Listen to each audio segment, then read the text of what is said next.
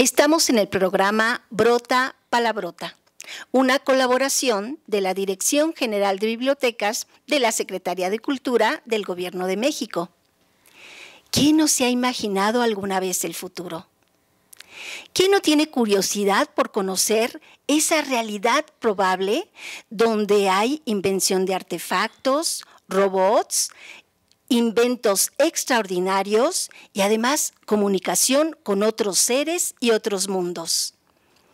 Además, imagínense esa realidad donde los seres humanos tienen desarrolladas habilidades y destrezas inimaginables. El 5 de junio de 2012 murió Ray Bradbury, autor de relatos extraordinarios de ciencia ficción. Y para hablar de este tema, hemos invitado a Rubén Ávila, ávido lector de relatos de ciencia ficción. Bienvenido, Rubén. Hola, ¿qué tal? Eh, platícanos, ¿quién fue Ray Bradbury?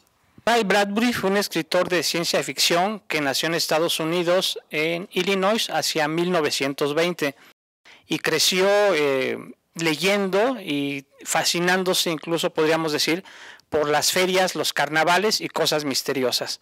Eh, él confiesa que durante mucho tiempo en su vida eh, aprendió en la biblioteca pública. Podríamos decir que iba casi tres días a la semana o más y se pasaba el día entero en la biblioteca leyendo todo lo que podía para después enriquecer sus relatos. Eh, empezó a escribir, incluso hay, una novela muy famosa de él que podríamos decir que es básica de la ciencia ficción, Fahrenheit 451, y esta novela la escribió en los sótanos de una biblioteca y pagando él para escribirlo a máquina. Escribió como nueve días el, el guion original de la novela. Eh, Rubén, ¿y qué relatos eh, puedes recomendar para las y los estudiantes eh, que nos están viendo en este momento? bueno, podríamos comentar que Ray Bradbury escribió muchos cuentos, incluso van mezclados porque unos son muy tiernos, compasivos, y otros podríamos decir que sí van como en el horror, es un horror psicológico. yo recomendaría, por ejemplo, si están iniciando los, los jóvenes en la lectura de este personaje, un cuento que se llama La sirena, que viene en este libro que se llama Las doradas manzanas del sol, ¿sí? ¿De qué trata La sirena a grandes rasgos? Es un diálogo entre un marino que en una fría noche de noviembre está trabajando en un faro y está platicando con su compañero eh, eh, sobre los misterios del mar. Están mirando el mar, ¿sí? Su trabajo es prender el faro, mirar cómo empieza a hacer un ruido el faro y está emitiendo una luz constantemente para guiar a los barcos. Y este señor McDoon le dice que hay un misterio en el mar, ¿sí? Al, joven, a su joven acompañante. Le dice, imagínate, tal vez debajo del mar todavía siguen siendo tiempos antes de Cristo. Sabrá Dios qué habrá ahí en el mar, ¿sí? Qué cosas se ocultan.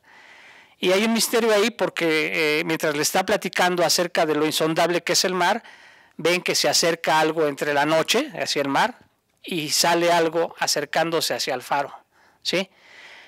Y es un relato bastante, bastante conmovedor porque es el contraste entre lo que es la tecnología del faro como una guía hacia los barcos y las cosas extrañas vivas que pueden surgir del fondo del mar. Y eso los comento ahí para que lo lean los, los chicos y para que descubran eh, lo fascinante que puede haber en la imaginación de este escritor. Muy interesante. ¿Algún otro relato que nos puedas recomendar? Sí, hay otro que se llama eh, volverán las lluvias suaves, ¿sí?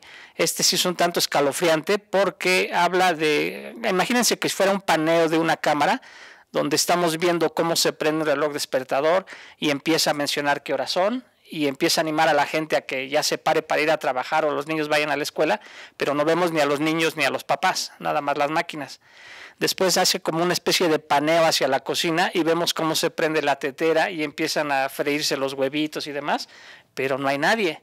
¿Sí? Sigue pasando el tiempo y de las paredes salen como unos ratoncitos que empiezan a limpiar, unos ratoncitos mecánicos que empiezan a limpiar la habitación y luego siguen y van limpiando más cosas, pero no vemos seres humanos. ¿Sí? El misterio ahí, y si es una buena reflexión también de Ray Bradbury, es acerca de la inteligencia artificial y una casa realmente como mm, combinación de casa electrónica con internet que funciona y se prende sola, pero no vemos seres humanos. Si ustedes quieren descubrir por qué no hay seres humanos en ese cuento, yo les, yo les invitaría que, que reflexionaran sobre ese cuento que se llama Volverán las lluvias suaves. Muy, interesante, eh, se antoja muchísimo, digo, además más por este tema que ahora pues está muy, muy actual, que es la inteligencia artificial, y bueno, pues ya eh, el autor nos está invitando a, conocer cómo podría ser el futuro aplicando al 100% esta tecnología. Sí. ¿Algún otro relato que nos recomiendes, Rubén? Sí, otros dos muy breves. Uno que hace una reflexión, el cuento se llama La última noche del mundo. Y está una pareja, tienen hijos y están en casa, y de pronto el hombre le comenta a su esposa que tiene una intuición, dice, bueno, ¿y qué pasaría si fuera la última noche del mundo? ¿Qué haríamos? Y empiezan a conversar y los dos caen como en la cuenta de que en lugar de alarmarse, dicen, bueno, pues ha sido una buena vida, ¿no? ¿Les diremos a los niños que es la última noche del mundo? No, no, no, no, déjalos que vivan, que jueguen y demás. Y entonces empiezan a conversar y a reflexionar sobre sus propias vidas y en lugar de alarmarse se van a dormir y tratan de descansar en paz.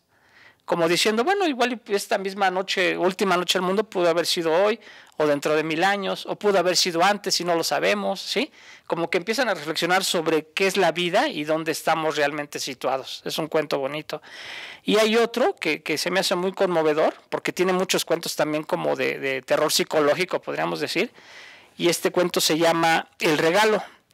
Eh, está situado hacia el año 2050 y tantos, o 2052, ¿sí? Y habla de la ilusión de una familia que van a viajar al espacio, van al planeta Marte y llevan a su hijo, ¿sí? Pero por las reglas de los vuelos les prohíben llevar un árbol de Navidad.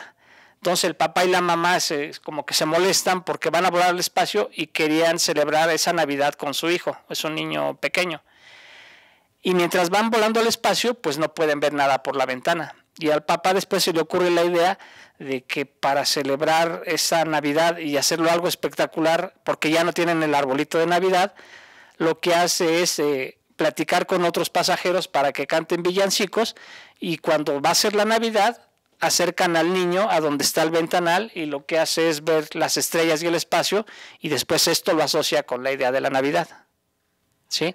Es un cuento bonito, porque también podríamos decir que tiene otros cuentos que incluso, podría, por así decirlo, exploran lo que es el bullying. Hay un cuento ahí que ayer estaba viendo en video que se, se llama eh, El patio de juegos, y si hay un capítulo en YouTube, porque, porque Ray Bradbury también tenía su, su propio programa de televisión, y aquí lo que reflexionan es sobre por qué los niños se pegan en, la hora del recreo o en la escuela, o por qué se molestan.